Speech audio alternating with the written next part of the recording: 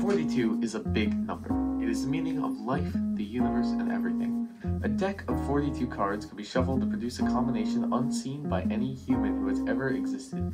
There are 42 protons in molybdenum. The second 16-bit number in every TIFF file is 42. There are 42 laws in cricket. The asterisk is the ASCII code 42, and uh, it comes from the Greek word astriskos, meaning little tsar.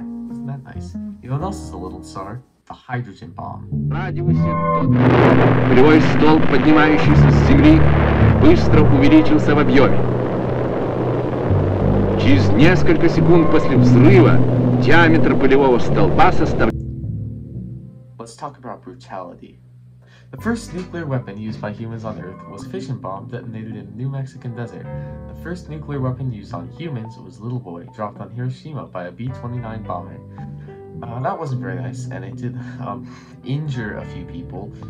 Uh, President Truman, who who uh, kind of did that, uh, had great difficulty in telling whether it was morally right or wrong. So, why is it wrong to kill someone and right to help them? Why is it wrong to see blood or to hurt people's feelings or to eat your friend's family? I mean, really, why can't we go around and burn a few daycare centers without people getting mad? Why did the police try to stop me? Why are we nice to each other? It's not like I'm gonna feel pain if I stab someone, so why don't we stab people more often? Why do we have empathy? Perhaps helping someone else just makes them more likely to help you in the future.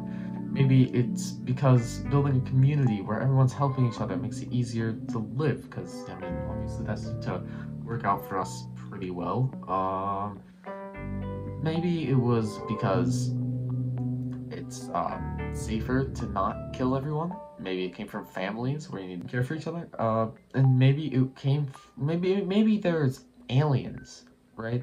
And these aliens are just really nasty to each other, and they just kill each other all the time and rip each other apart, and it's awful and horrible, and nothing ever gets done.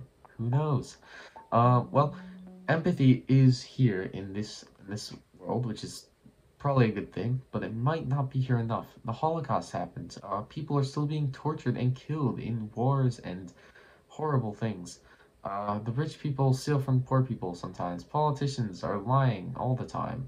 Uh, bodies are just piling up everywhere. Why are we so brutal to each other? Now, like, the only thing we can even do to, like, have world peace, to, like, hey, hey, we should be peaceful, like with actually getting results is to just go out in the middle of a city and starve yourself to death, which I would not recommend. Um, but uh, Gandhi did it. Um, also, people burn themselves in the street. That's really awful. I'm not gonna show a picture of that. Um, it seems that everyone wants world peace, but everyone has these different visions that sort of collide with each other. And so, ah, let's kill each other. War, yeah. Um, so, for instance, the Soviets want communism, the United States wants democracy, and John from New Zealand wants infinite hexagonal perfection. Uh, the Soviets like John's idea for a minute, right? Because, you know, communism, oh, giant hexagons everywhere, that's pretty cool, right? So they team up with New Zealand. The United States doesn't really like John's idea because hexagon tiling over the entire Earth does not really say freedom or, ooh, look at me, I'm American. Um, and so Soviets disagree with the United States, and so they have a war. They kill each other. They, they people die. Wow, it's awful. Um, it's just horrible war, and so now it's just the Soviet Union and John from New Zealand. But some people in the Soviet Union are scared of John from New Zealand, and so they say no, and so they break up. Now it's the the pro New Zealand Soviets and the anti New Zealand Soviets, and so now the pro New Zealand Soviets are fighting each other, and so now, now they're both weakened, and John from New Zealand takes over the entire world, and oh my goodness, there's nothing left but honeycomb tiling over the entire world, and it's it's beautiful, it's great, but it's also the only person left is John, and he's he's going to space to go turn Mars into a hexagon tiled planet, and soon the entire universe, and we've just become unstoppable force of nature, except clearly it's just John. And so, yeah. Um, who who was right then? Was it John? Do, do we need to turn the universe into hexagons? Was it the Soviets?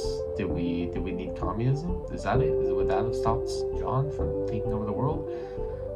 Uh, or was it the United States? You just want freedom, right? Because like freedom, take over the entire world and make it all the United States. Well, I mean, all of those things are, you know, good ideas in their own right in some way or another. And so these people believe that yes, my idea is right.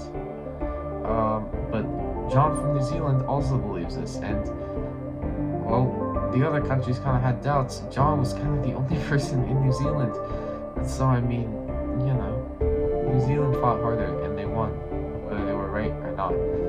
So maybe next time you are in a fight with someone or a friend and you're considering having a war, maybe you should smile and walk away, right? Because we don't want the entire world to become a giant hexagonal tiled thing.